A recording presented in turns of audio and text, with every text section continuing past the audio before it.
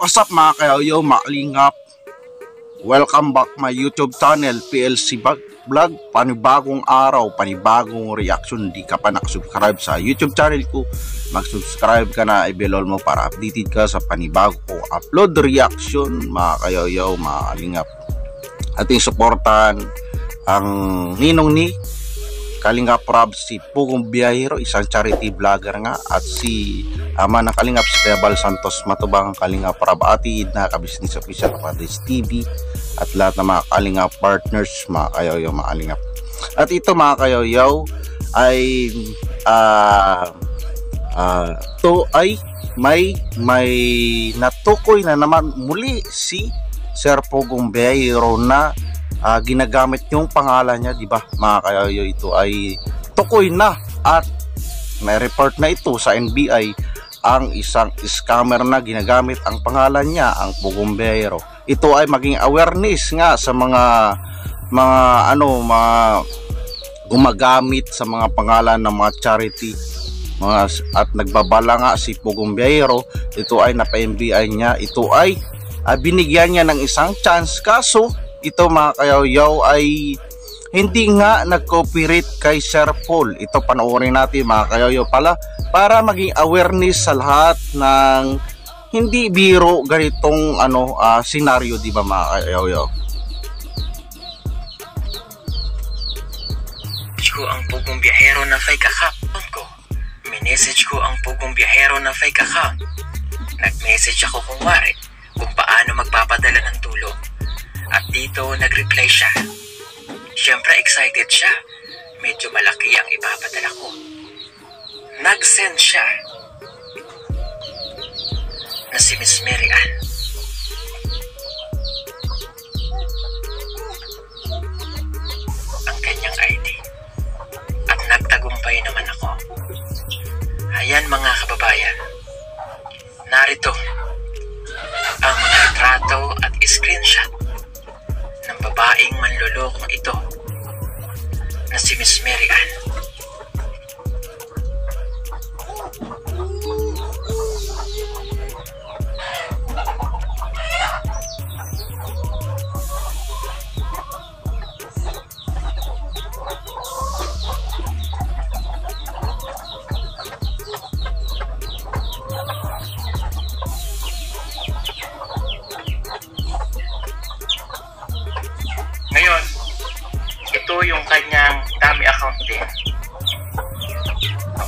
Din ako ng dami account ko at nahuli ko siya. Ito ang pagmumukha niya.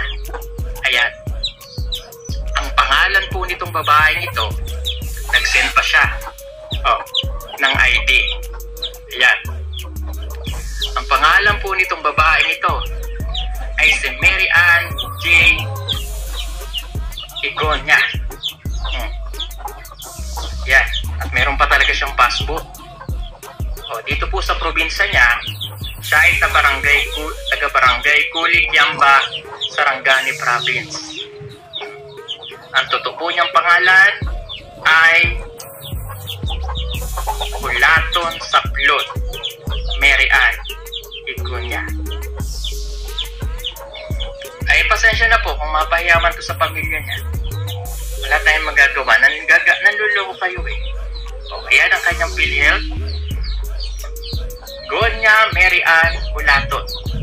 Alam kong may mga subscriber kami dito sa Sarangani, sa Cotabato. O, ayan. Pasensya na kayo. Niloloko kami. O, at nalaman namin yan mga kababayan dito sa isa nating sponsor na nag-message sa amin yan mga kayaw mga babayan, mapapanood nyo yung full video na yan dyan sa upload nga sa YouTube channel ni Ka Pugong Biyero mga kayaw Ito ay mga kayaw maaling paging awareness sa uh, ginagamit yung pangalan ng ni Sir Paul o kanino mang charity vlogger dahil uh, mga kayaw maaling ay siyempre uh, pinaghirapan nila yung ano yan yung pangalan tapos ginagamit yung mga sponsor nga. Hindi sila lumalaban ng patas sa pamumuhay di ba mga kayaw na di ba uh, nag ano nga si Sir Paul na pwede naman siyang humingi ng tulong, matulungan pa sana siya. At binigyan siya pa nga pagkakataon na magawa ng video apologize, di ba? Mga kayoyo na uh, uh, hindi niya pa naging deserve na binigyan siya ng pagkakataon ni, ni Sir Paul na humingi na public apology para hindi na ma ano ma uh, ano yung pangalan niya ito yung scammer ay binaliwala ang pag ano bigay ng uh, pagkakataon ni Sir Paul, di ba? Ito maging awareness sa mga marami talagang mga mga scammer na ginagamit na pangalan ni Sir ni Sir Paul na Sir Pogumbero at uh, sila Kuyabal, Kalinga para para mapanglamang sa kapwa na hindi sila lumalaban, di ba mga kayo, mga lingap na nag uh, para uh, bali warning ito o maging awareness nga dahil dami naluloko na mga sponsor dahil yung mga sponsor ay gustong tumulong din sa kay, sa mga charity tulad kay Pogombero, di ba? Di ba mga kayo? Ilang bisis na to mga kayo yo sa nagbabala si Sir Paul. Ito nga pina-NBI nga na, di ba? Inagamit yung mga pangalan ng mga charity vlogger. Uh, dapat uh, uh, masampulan ito, 'di ba? Makulong uh, pero mga kayo yung maalingap uh, ma maging awareness, 'di ba? Ma, mag, ma ano sila dahil yung niloloko nila na na ano na sponsor, siyempre pinaghirapan din niya yung pira nila, 'di ba mga kayo? Tapos yung scammer hayahay lang, 'di ba mga kayo? Hayaan lang sila na naisaan yung mga sponsor. Tapos ginagamit pa nila yung pangalan ng charity vlogger, di ba?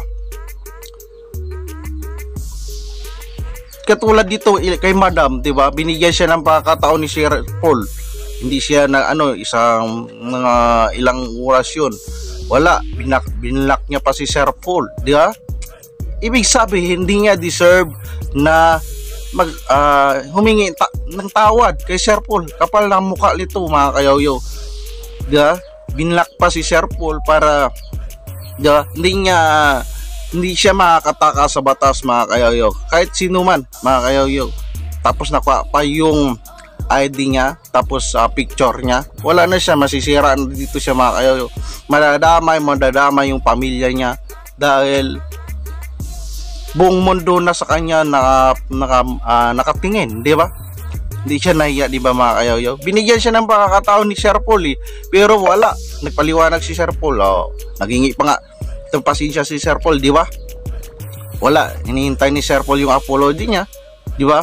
Wala pa rin. Ang kapal ng mukha nitong babae na to. Dapat to masampulan, makulong to para hindi ito matularan ng ibang scammer na. No, di ba? mga kayo yung maalingap kayo na lang dyan maghusga sa youtube channel nga ni Pugumbero ang ninong ni Kalingap Rab mga kayo isang charity vlogger rin yan suporta natin mga kayo yo. at suporta natin ang ama ng Kalingap si Kaya Bal Santos Matubang Kalingap Rab Ati Idna Kabisnis Official Papadins TV at lahat ng mga Kalingap partners at isang pinapakiusap kong mga kayaw don't skip ads at suporta natin ang YouTube channel nga ni Ma'am Lori D.E. Magalpok Vlogs at ni As26 Vlogs. Supportan natin. I-subscribe natin mga kayoyo. At mega love shoutout sa nanonood sa aking upload reaction. Maraming salamat mga kayoyo, mga alingap. At once again, PLC Vlog, kung di ka pa nakasubscribe sa YouTube channel ko, mag-subscribe ka na, i-bell mo para updated ka sa panibago ko upload reaction. Once again, thank you for watching. Yeah, yeah, yeah, yeah, yeah, yeah, yeah, yeah, yeah. Oh, oh, oh.